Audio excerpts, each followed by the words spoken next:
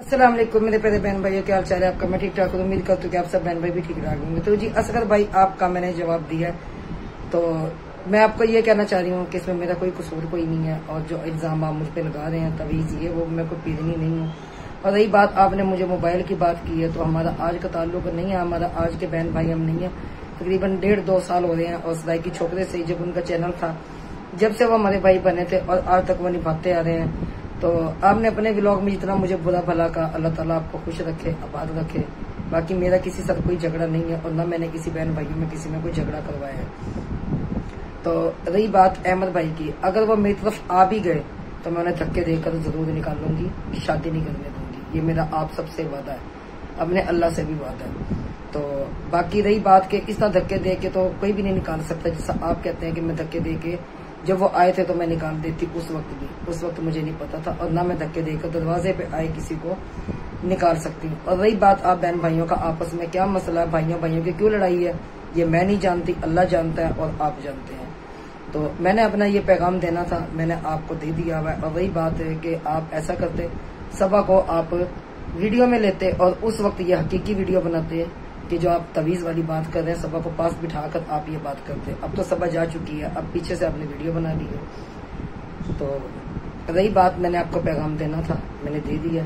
तो और मेरा, आप सबके साथ ना कोई झगड़ा है, ना मेरा कोई फसाद है। अब जहाँ भी रहे, खुश रहे, अब बात नहीं मैं अपने घर पे हूँ, आप अपने घर पे रहे। मोबाइल की बात की, जी मुझे मोबाइल दिया गया है रुबीना का मोबाइल दिया तो भाई मेरी बात सुने उसने मुझे उन्होंने अगर मुझे मोबाइल दे दिया तो हमने भी तो उनको पता नहीं क्या क्या दिया होगा। उनसे भी तो पूछिए। उन्होंने तो मोबाइल लगाकर वीडियो वो बना दी। और जो हमने दिया होगा वो तो पूछिए उनसे जो हम देते आए हैं।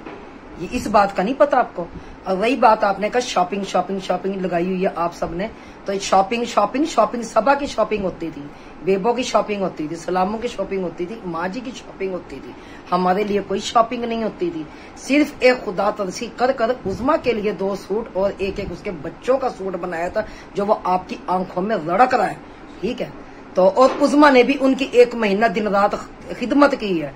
ठीक है? उनको बेड पे से पाँव नीचे रखने नहीं दिया हमने। अगर एक महीना वो यहाँ पर रहे हैं, आपको मोबाइल का जलवा आप लोगों को बड़ा पड़ रहा है और शॉपिंग का पड़ रहा है, वो दो जोड़े, क्या औकात है दो जोड़ों की? और मोबाइल पच्चीस हज़ार के मोबाइल की क्या औकात है?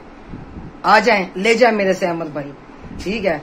और वही बात है सभा की तो आप सभा को पास बैठ कर वीडियो बनाते हैं, उसे पास बिठा कर वीडियो बनाते हैं। आप भाइयों में क्या मसला चल रहा है, क्या नहीं? हम नहीं जानते, हम अपने घर में बैठे हैं। या आप बेहतर जानते हैं, दूसरों पर ब्लेम देने की बजाय खुद के गिरबान में सब झांके कि एक दूसरे में आप लोगों में क्या चल रहा है, क्या नहीं। हम तो दूर बैठे हुए हमें क्या पता है? हम भी वैसे ही लोग देखते हैं, जैसे आम ऑडियंस आपका लोग देख रही है। मैं भी वैसे ही देखती हूँ सबके भी लोग मुझे तो नहीं पता होता क्या चल रहा है, क्या नहीं। सिर्फ़ इल्ज़ाम लगाने का आप लोगों को पता होता है। जो आप लोगों को इतने गिफ्ट आ रहे होते जो वो आवाम भेज रही होती है, उस पर तो आप लोगों ने कभी नहीं कहा। जो आप लोगों को जो एक अहमद ने हमें मोबाइल गिफ्ट दे दिया, वो आप लोगों को जलवा, सालों का जलवा आप लोगों को। इतना पड़ा हुआ ना कि बहुत ज़्यादा।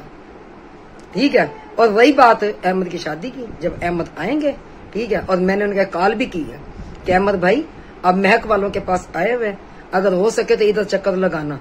लेकिन उसकी शादी हम नहीं होने देते, हम इतने बेवकूफ़ नहीं है। जो भी भागता इल्ज़ाम मेरे पे आ जाता है, जो भी भागता इल्ज़ाम मेरे पे आ जाता है।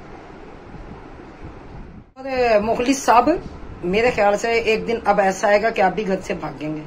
ठीक है? वो भी निज़ाम मेरे पे ही आएगा। मैं पहले ही तैयार हो जाती हूँ। तो बड़ी अजीब बात है। ना कहीं इंसान को जीने देते हैं, ना कहीं सुकून लेने देते हैं। कोई अगर अगला बंदा अपना व्लॉग बना रहा है तो उसको ना व्लॉग बनाने देते हैं। तो भाई चैनल किसी की मलकियत नहीं है। ठीक है? आप अपने घर खुश है, हम अपने घर खुश है। ना, आप मुझे खाने को देते हैं, ना हम आपको खाने को देते हैं। और वही बात कि अहमद यहाँ पे अगर एक महीना रहा ना तो अहमद से पूछ लेना किसी दिन के उसने एक रुपये कभी यहाँ पे खर्च किया कभी। एक दो बार खाना बाज़ार से लेके आए होंगे तो लेके आए होंगे। ठीक है? तो यहाँ पे अगर एक महीना रहा जो तुम लोगों ने मुझे बदनाम किया कि एक महीना रुबीना के घर का खर्चा उठाते रह गए रुबीना के घर के खर्चे उठाते रह गए मेरे घर के कोई खर्चा नहीं, मेरे भाई उठाए उसने। वो से पूछ लेना। अल्लाह को जान देनी है उस बंदे ने। अल्लाह को हाजिर नाजिर जान के पूछना कि भाई, कितना खर्चा हमारे घर में करवाया, कितना राशन हमारे घर में डलवाया। पूछ के मुझे जरा बता दीजिएगा, और ये भी वीडियो में लगा दीजिएगा कि कितना लाखों का खर्चा हमारे ऊपर किया उस बंदे ने।